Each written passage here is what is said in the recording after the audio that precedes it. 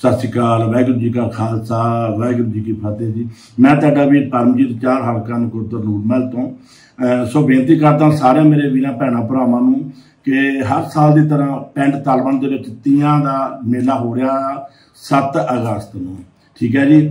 ਔਰ ਸਾਰੇ ਜਣੇ ਵੱਧ ਚੜ ਕੇ ਆਓ ਔਰ ਮੇਲੇ ਦੀ ਰੌਣਕ ਨੂੰ ਵਧਾਓ। ਔਰ ਸਭ ਤੋਂ ਅਹਿਮ ਗੱਲ ਇਸ ਮੇਲੇ ਦੇ ਵਿੱਚ ਇਹ ਆ ਕਿ ਮੇਲੇ ਤੋਂ ਇਕੱਠੀ ਹੋਣ ਵਾਲੀ ਰਾਸ਼ੀ ਜਿਹੜੀ ਜਿੰਨੇ ਵੀ ਪੈਸੇ ਆ, ਇਸ ਮੇਲੇ ਦੇ ਵਿੱਚ ਇਕੱਠੇ ਹੋਣੇ ਆ, ਉਸ ਪੈਸੇ ਦੇ ਨਾਲ ਅਸੀਂ ਹਰ ਪੀੜਤਾਂ ਦੀ ਮਦਦ ਕਰਾਂਗੇ। ਔਰ ਸਾਡੀ ਜਿਹੜੀ ਟੀਮ ਆ, ਜਿੰਨੇ ਵੀ ਟੀਮ ਦੇ ਮੈਂਬਰ ਆ, ਉਹਨਾਂ ਨੇ ਇਹ ਸਾਰੀ ਰਾਸ਼ੀ ਇਕੱਠੀ ਕਰਕੇ ਕਿਸੇ ਦੀ ਹਰ ਪੀੜਤ ਦੇ ਬੰਦੇ ਦੀ ਕੋਈ ਮੱਝ ਮਰੀ ਆ, ਕਿਸੇ ਦਾ ਕੋਈ ਘਰ ਟਹਿ ਗਿਆ ਆ, ਕਿਸੇ ਦੇ ਕੋਈ ਬਾਲੇ ਖਰਾਬ ਹੋ ਗਏ, ਕਿਸੇ ਦੀ ਛੱਤ ਖਰਾਬ ਹੋ ਗਈ, ਕੋਈ ਬਿਮਾਰ ਹੋ ਗਿਆ। ਸੋ ਜਿੰਨੀ ਵੀ ਰਾਸ਼ੀ ਇਸ ਮੇਲੇ ਤੋਂ ਇਕੱਠੀ ਹੋਣ ਵਾਲੀ ਆ, ਉਹ ਇਸ ਮੇਲੇ ਤੇ ਅਸੀਂ ਇਹ ਹਰ ਪੀੜਤਾਂ ਦੀ ਹੈਲਪ ਲਈ ਮਦਦ ਕਰਾਂਗੇ। ਤਾਂ ਵਾਹਿਗੁਰੂ ਜੀ ਕਾ ਖਾਲਸਾ, ਵਾਹਿਗੁਰੂ ਜੀ ਕੀ ਫਤਿਹ।